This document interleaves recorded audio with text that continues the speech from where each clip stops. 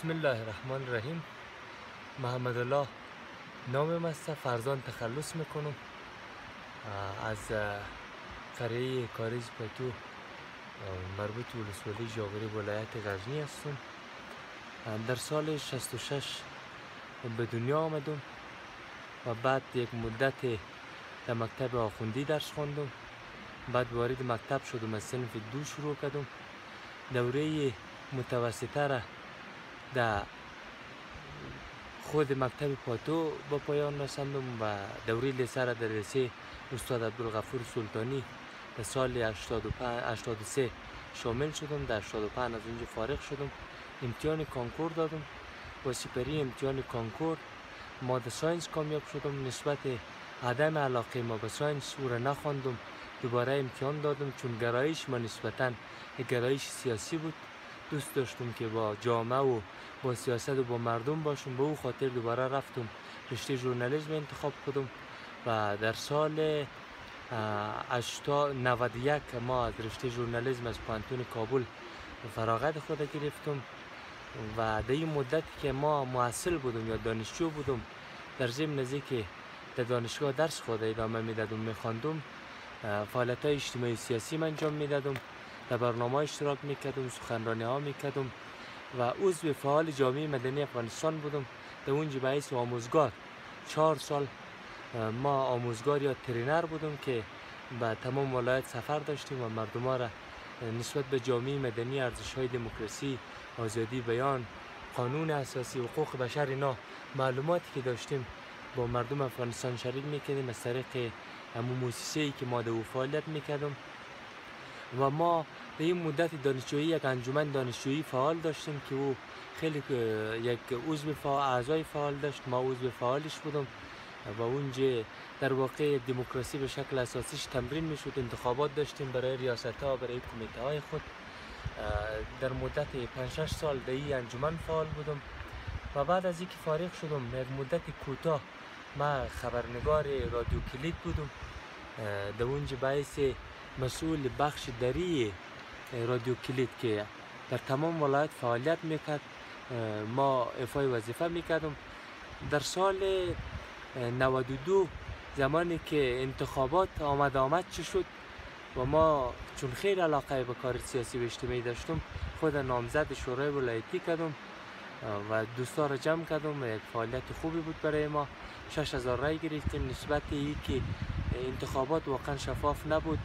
رای مردم جابجا جا می ما نتانستیم به شورای ولایتی شوم و در آینده انشاءالله علاقمندیم که به این کار ادامه بدیم. فعلا هم کارمند دولت هستم برای دولت کار می‌کنم. هم مستری خود در رشته حقوق به ملل ادامه میدیم. که انشالله تا بتانم در آینده یک آدم موثر باشم برای جامعه نه معروف. آدمی که بتانم حداقل برای جامعه برای خود خود برای مردم. حداقل کار انجام بدیم که او در آینده در زندگی مردم به شکل مثبتش تغییر بیاره. آرزوی امیت کار را دارم. و کار دولتی من که از در یکی از کلیدی ترین اداره مملکت در ارگانهای محلی که ما در اونجا از طریق از داره. والی ها معاونین والی ولسوالا و شاردارا تعیین می‌کنیم. از کار خودم راضی هستم و امید دارم نسبت به آینده مملکت که اگر خدا خواسته باشد و مردم متحد شود و یک هماهنگی و یک وحدت به وجود بیاید یک صلح بیاید اول امنیت بیاید و بعد ما هم مثل دیگه کشورها مثل دیگه ملت های دنیا یک کشوری دارای اقتصاد بهتر.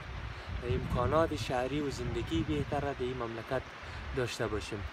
فعلا برنامه مایی است که مستری خود به پایان برسانم و اگر خواست خدا باشد انشاءالله در شورای ملی هم علاقمند ازی هستم که خود کاندیدا کنم و عضو فعال پارلمان شوم تا بتونم از او طریق با توجه به نمایندگی از مردم کار را برای مردم افغانستان کنم. و باور دارم که هیچ مملکت نمیتانه برای ما مثل مملکت خود ما شود مایی که در اینجا زندگی می‌کنم. و بیرون از افغانستان شاید یکی دو کشور را سفر کردم بیشتر مسافرت هم نکردم. باور ما به این است که ما باید اینمی خاک را با تمام بدیایی که داره نامنیا و جنگی که در اینجا وجود داره برای خود آباد کنیم. این وطن خود آباد کنیم و بعد برای تحصیل برای آموزش بیشتر برای در کشورهای دیگه بریم اونجا یاد بگیریم پس بیاییم. به اختیار مردم خود با اختیار قوم خود باشیم در خدمت قوم خود باشیم. برای از وطن برای رفاه خود ما و نسل آینده ما کار کنیم. و چیز دیگه ای که می‌خواهیم یادآوری کنیم میگه پاری که گفتیم به این معنا نیست که کشورهای دیگه قطعا بد است و خیلی خوب هست.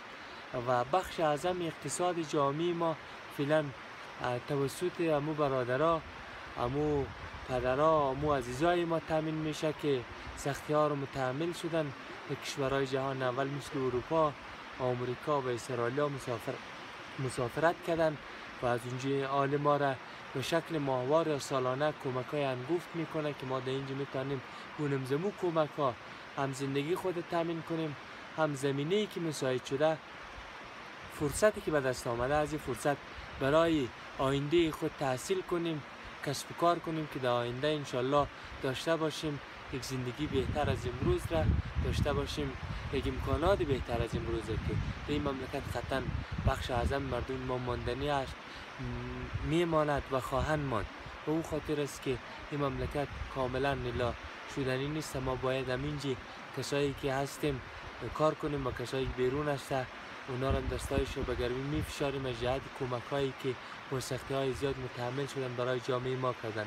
الحمدلله باید بگویم که جامعه ما در حال پیشرفت است به لحاظ اقتصادی و به لحاظ فرهنگی سطح سواد آموزش و پرورش زمینه برای تمام طبقه ها برای تحصیل و کار کردن هم برای خانم ها هم برای مردا یک امیدواری وجود داره که ما در آینده می‌تونیم یک مملکت نسبتا خوب و آرام داشته باشیم تا مثل دیگه ملت های دنیا در صلح در امنیت با هم زندگی کنیم.